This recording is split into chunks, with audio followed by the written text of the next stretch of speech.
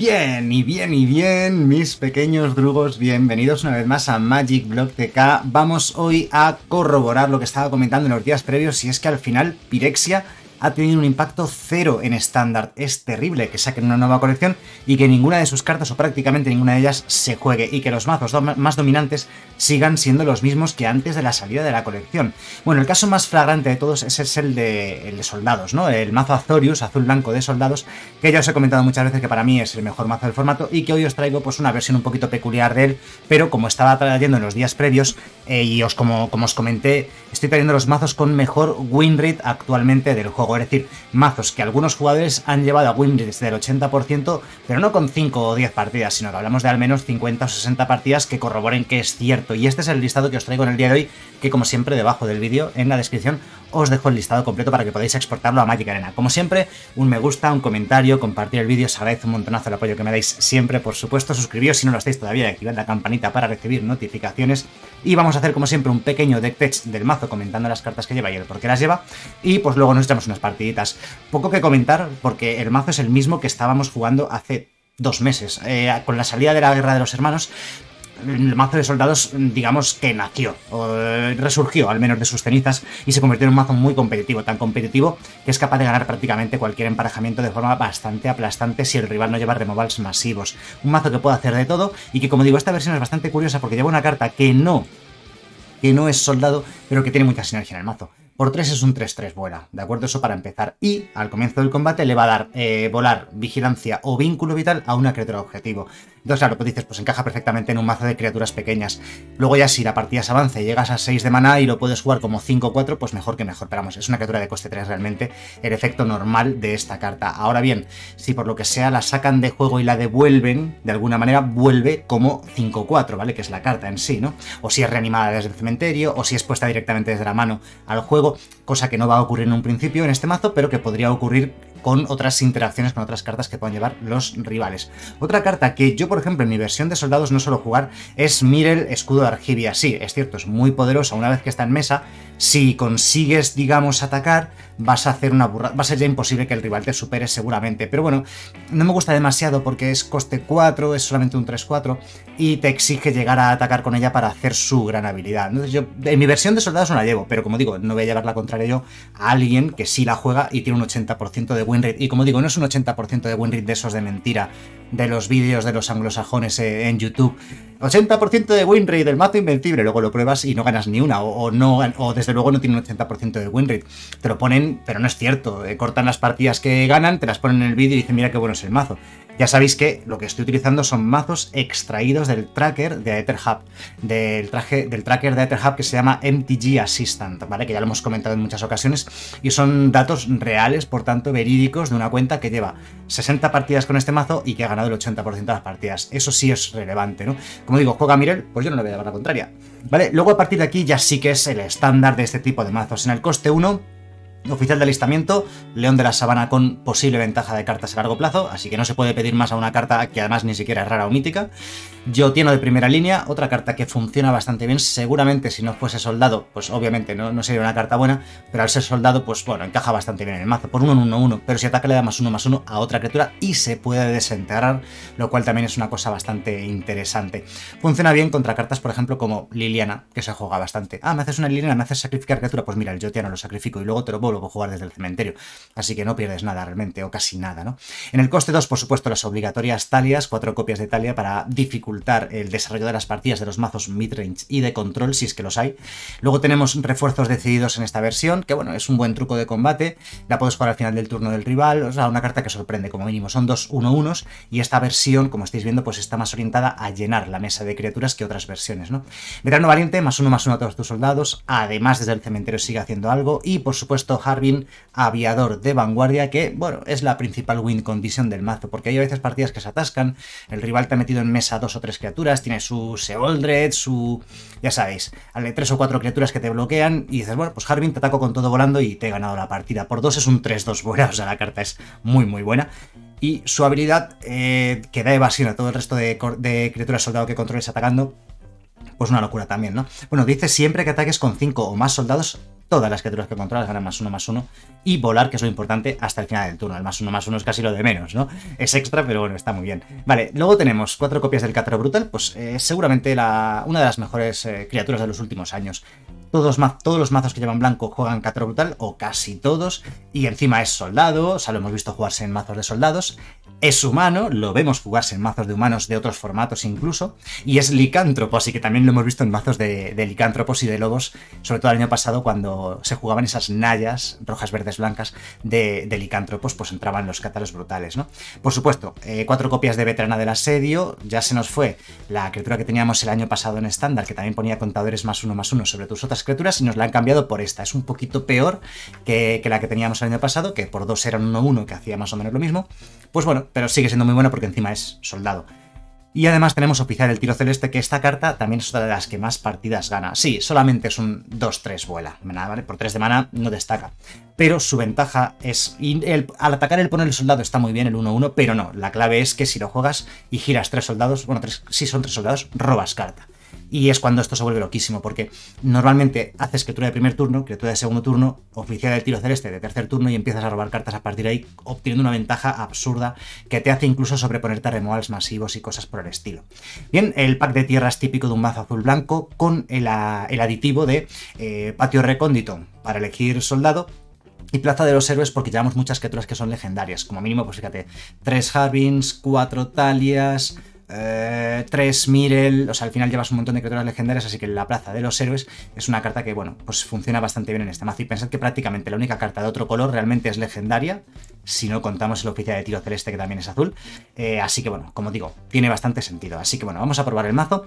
Debajo del vídeo en la descripción tenéis el listado completo del mazo. Como digo, esta es una prueba fehaciente de que Pirexia ha tenido un impacto muy pequeño en estándar, en Magic Arena al menos, a lo mejor de una partida se ven muy poquitas cartas de Pirexia.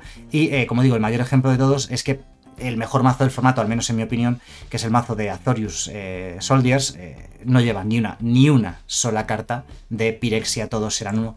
Con lo cual, bueno, pues al final el impacto del formato se ha quedado quizás un poco restringido a formatos más antiguos y, sobre todo pues a esa putredotisa venerada que se está intentando combar con mazos de lanzar muchos hechizos sobre ella para ponerle 10 contadores de veneno al rival rápidamente, ¿no? Bueno, Vamos a ver si el mazo se comporta bien o no. Casi seguro que sí, porque el mazo está, yendo muy bien. Yo, de hecho, si tengo que hacerme alguna misión rapidilla o lo que sea, trato de buscar que, tenga que hacer jugar cartas blancas para, jugar estos, este tipo de mazos que van muy bien. Mira, la mano es malísima, es la mano malísima, pero tampoco es una mano de hacer mulligan, nos la vamos a quedar, de hecho. Y, eh, pues mira, no le voy a dar pistas al rival, voy a jugar esta tierra girada. Dado que tampoco tenemos ninguna continuidad que darle a esta salida y así aprovechamos y sin dar información al rival jugamos, jugamos cartas. Aquí el rival se va a quedar un poco atónito porque va a ver que no jugamos nada y al final de su turno meteremos los refuerzos decididos. Puede que sea una mono blue tempo. Mono blue tempo en principio es un buen emparejamiento para nosotros. No, es otro mazo de soldados que también ha salido un poco, un poco raro, podríamos decir, ¿no? Fijaos que nosotros ya podríamos empezar a robar cartas con este oficial del tiro celeste. Y posiblemente no sea tontería empezar a robar cartas y ya está, y ganar la partida gracias a ello. De hecho, lo vamos a hacer. Es muy probable que el rival tenga eh, un cátaro brutal para matar nuestro oficial del tiro celeste, lo cual no me importa demasiado porque a continuación yo jugaría el mío y la recuperaríamos. Pero la ventaja de cartas que nos va a dar esta oficial del tiro celeste en dos o tres turnos va a ser totalmente. va a sobrepasar totalmente a nuestro oponente, probablemente, ¿no? Vamos a poder jugar tierra todos los turnos, probablemente con las cartas extras que vamos a robar, vamos a poder bloquear y llegado a un punto, pues nos habrá salido un Arvin como el que acaba de. Bueno, como el que acaba de mostrar el rival, por error supongo. Se ha equivocado y nos ha mostrado Arvin. Y ojo, Adeline sí que es peligrosa, pero tenemos el Cátaro y sabemos usarlo. Él no va a atacar, lógicamente, y nosotros empezamos a robar. Ahí está. Bien, podemos darle la información de que vamos a jugar un Cátaro brutal ahora mismito sobre su Adeline y ya podemos empezar a atacar y aún así seguir robando cartas. Atacamos, bueno, incluso fijaos que estamos en tal situación que podríamos permitirnos el hecho de atacar con dos criaturas y perder el, token si quiere bloquear, ¿no? Tendríamos tres, cuatro, podemos atacar con estas dos, de hecho. Porque el, el oficial nos va a poner un token, tendremos tres criaturas, al menos para robar una carta extra, ¿no? La partida está ganada, como digo. El rival bloquea, ¿sabéis por qué ha atacado? porque yo quería que él me bloquease alguna de mis criaturas. Él puede pensar, bueno, quito criaturas del medio y así no puede robar tanto, pero yo lo que quiero es que él no tenga cinco voladoras, o sea, cinco criaturas para que ataque con Harbin, bueno, o sin él, que ataque con cinco criaturas y me gane atracándome de una manera un poco tonta, ¿no? Sería un poco ridículo por mi parte permitir ese hecho. Vale, es muy probable que el rival tenga un cátaro brutal y se está pensando si hacerlo sobre la oficial del tiro celeste o sobre mi cátaro para recuperar su Adeline. Sinceramente, solo tiene que matar la oficial del tiro celeste. Adeline es solamente una criatura. Pero la oficial de tiro celeste gana partidas ella solita, ¿no? ¿Vale? Opta por veterana del asedio, o tampoco sabemos lo que tiene en mano. Se rinde.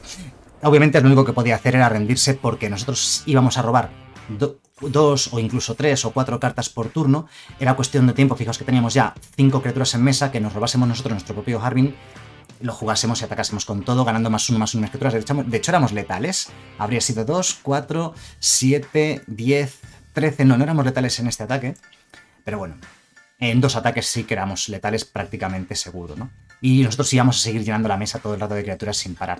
Muy bruta la oficial de Tío Celeste, sobre todo contra mazos como el del rival, mazos que no llevan demasiados anticriaturas. Ahí es donde más brilla la oficial de Tiro Celeste porque si no te la van a matar. El problema de este mazo es que hay tantas criaturas que, que tienen que matar a los rivales que al final con que alguna sobreviva puede que te den la partida, ¿no?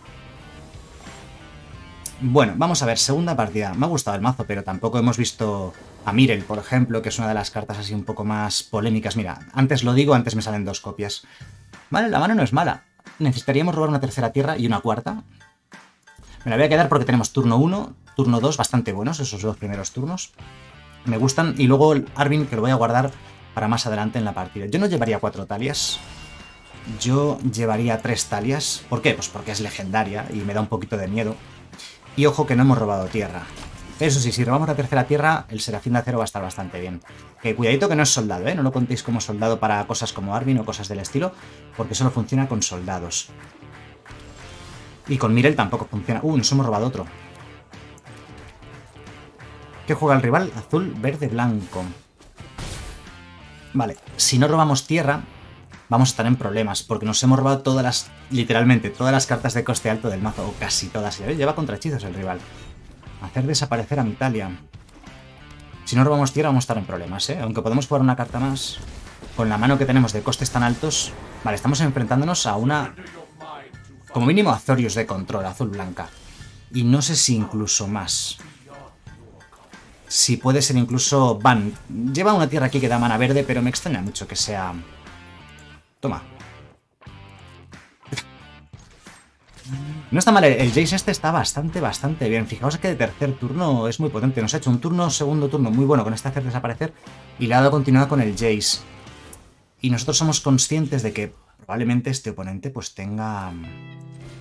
Tenga ahora un removal para la oficial de alistamiento, posiblemente. Y nos tenga ya un poquito en problemas, ¿eh? Vamos a poner el contador, la oficial de alistamiento, obviamente contador más uno más uno.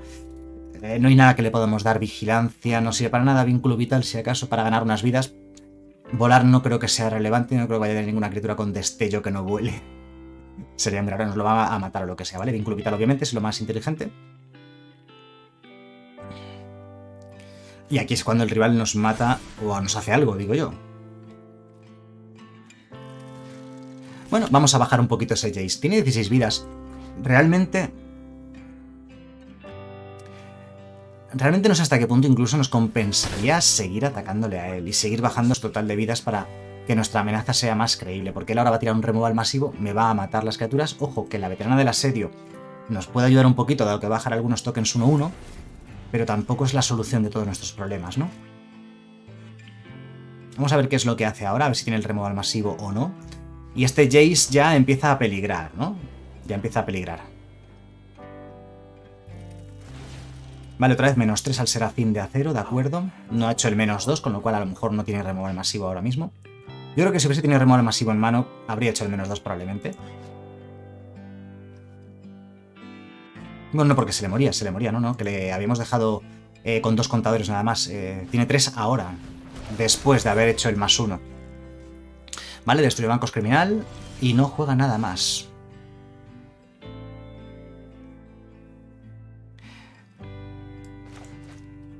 No sé muy bien aquí cómo proceder, la verdad.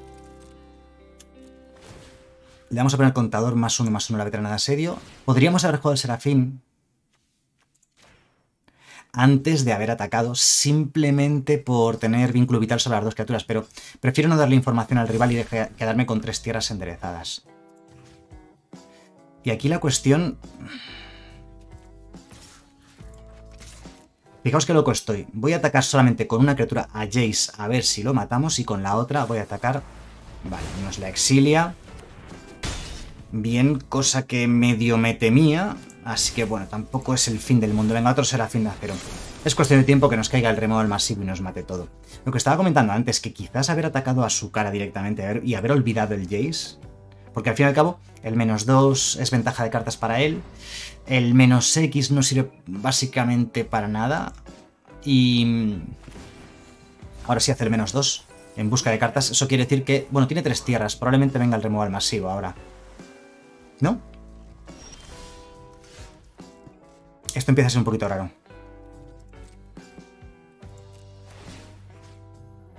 Más uno a uno de estos. Eh, vínculo vital a este. Vínculo vital a este. la verdad es que da igual vínculo vital que me vaya yo a, 30 o 40 vidas, va a dar absolutamente igual en esta partida. Lo que quizás el rival nos espera es que le voy a atacar a él. Ya sé que está el Jace, pero se queda con únicamente tres vidas. Esto solamente funciona con criaturas del rival, ¿no? Es que estaría gracioso que pudieses hacerlo a una criatura tuya, de modo que si el rival tira un removal masivo de algún tipo, eh, recuperas luego tus criaturas, ¿no?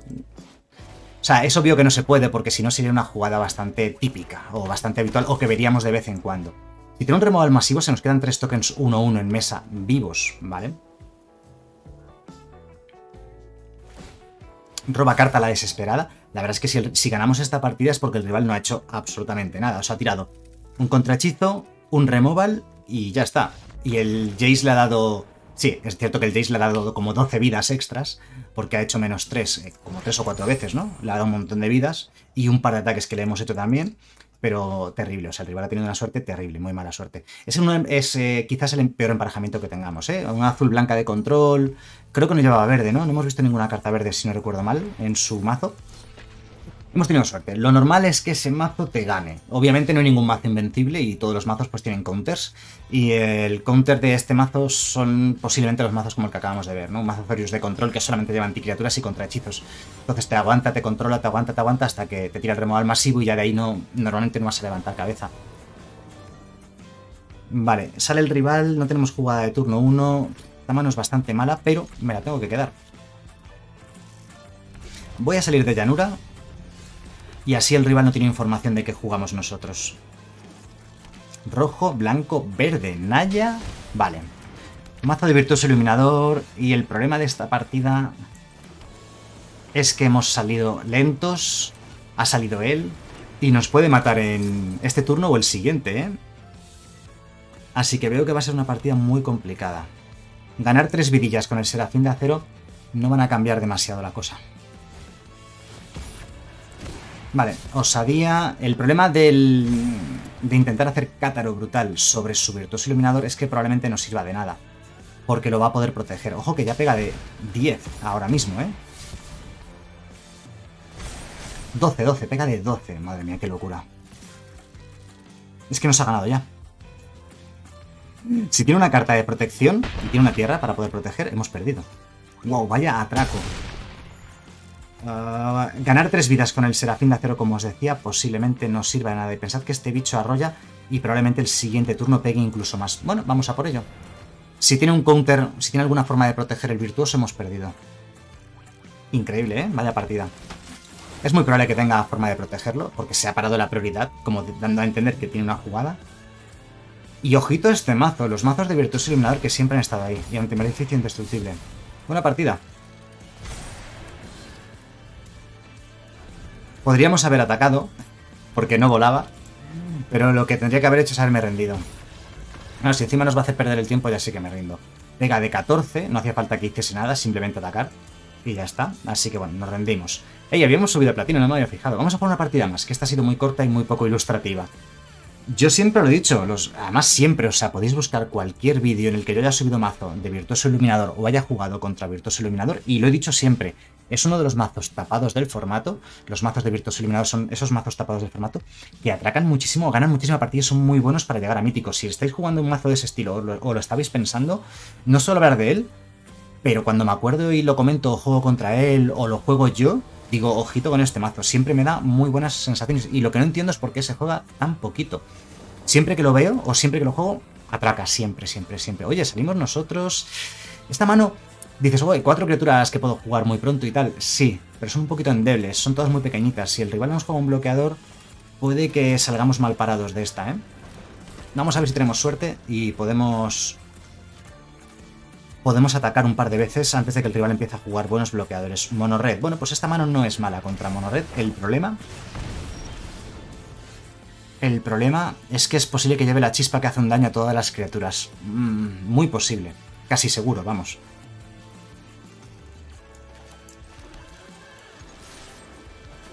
Le voy a meter los refuerzos decididos al final del turno.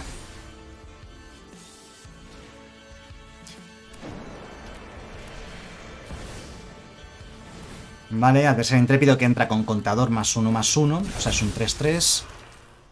No es mal comienzo para él. No vamos a bloquear, lógicamente. Si tiene la chispa que hace un daño a todas las criaturas hemos perdido, ¿eh? ya os lo digo. Pero si no la tiene, tenemos una posibilidad. Cátaro brutal, ¿eh? Es un buen turno para hacer Cátaro brutal, yo creo.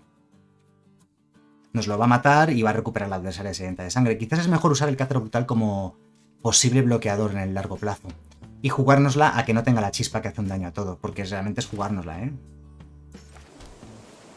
No la tenemos que jugar, yo creo. Si tiene la chispa, perdemos. Es que si no tiene la chispa que hace un daño a todas mis criaturas, va a tener la chispa que, con la que me mata el Cátaro Brutal, recupera a la adversaria y va a seguir atacándonos duramente, ¿no? Prefiero usarlo para remover un bloqueador, el Cátaro Brutal. Es lo que, por eso me lo he guardado. Por si sale bien la jugada, si me quedo con todos estos bichines, el siguiente turno el rival no ataca.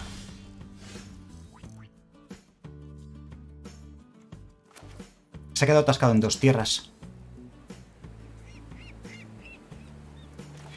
Me la voy a jugar para quitar el bloqueador de en medio. Talia también puede ser muy buena contra él, ¿eh? Sobre todo viendo que se ha quedado atascado. Y otra opción, robar cartas con los oficiales de alistamiento. Si mis criaturas mueren, se exilian, ¿vale? Lo digo porque tiene grabado de Kumano que tiene esa habilidad. Y el soldado yotiano este. Probamos con Talia y luego el Cátaro Brutal. Voy a probar con Talia este turno, ¿eh? No vamos a atacar. Nos vamos a quedar a la espera un turno más. Creo que Talia puede hacerle un poquito de daño dado que se ha quedado atascado. Y nosotros posiblemente no vamos a atacar. Si, me tiene, si tiene una chispa y me puede matar a Talia, que me la mate. Así no nos podrá matar quizás con un poquito de suerte el Cátaro Brutal, ¿no? Ha robado tierra, ya tiene tres tierras. Y pollito pío, ¿vale? A ver si se anima a atacar. Bueno, el pollito seguro que ataca porque no puede bloquear. Y ahora sí, este es nuestro momento. Esta es muy buena, de hecho es buenísima este, esta carta, este robo ahora mismo. De hecho no voy a atacar, vamos a jugar directamente el oficial de tiro celeste y vamos a robar cartas a ver si nos sale mm, tierra. Tierra o criatura o algo, ¿no? Podemos robar dos cartas, de hecho tenía para matar a Talia, así que bueno, quizás el Cátaro Brutal no llegue a matarlo. Y ah, como no vamos a atacar en este turno, vamos a girar criaturas. Vamos a girar estas, que son las que más pegan. Y el Jotiano es que no quiero que se muera realmente, ¿eh? Venga, y el Jotiano. No quiero bloquear con él porque si se muere se va a exiliar. Otra Talia, ¿eh? Podríamos robar otra carta más a ver si es tierra.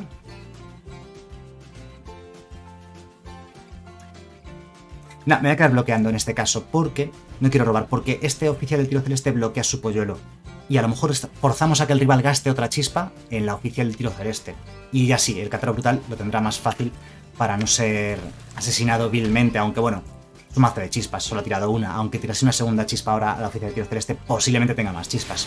¿Vale? No le queda más mana rojo. Le queda un mana incoloro, así que bien, creo que este turno vamos a poder bloquear consistentemente y robar carta. Ataca con el 3-3. Al cual no... Bueno, podríamos bloquear, ¿eh? Los 1-1 no van a cambiar demasiado la cosa. Espérate, si robásemos Arvin, ganaríamos, porque tenemos 5 atacantes, 6 atacantes. No voy a bloquear, pues si robamos un Arvin, no es imposible que lo robemos. Tenemos dos robos a continuación. Uno, dos, tres... No, y tampoco. No, y además tampoco.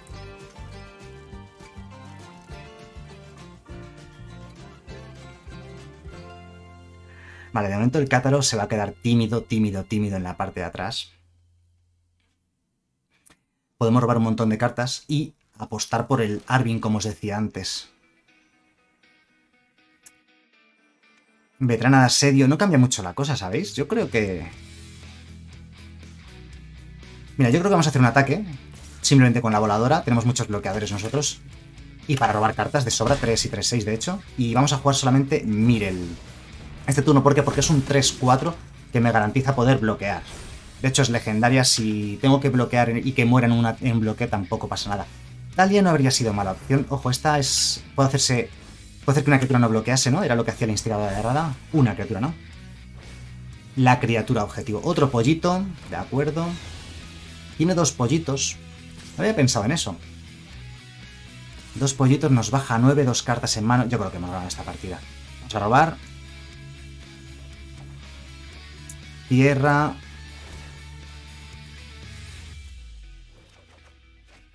Se resiste Arvin de momento. Seguimos. Uy, esta es muy buena ahora mismo. Vale, llegamos a 5 de maná.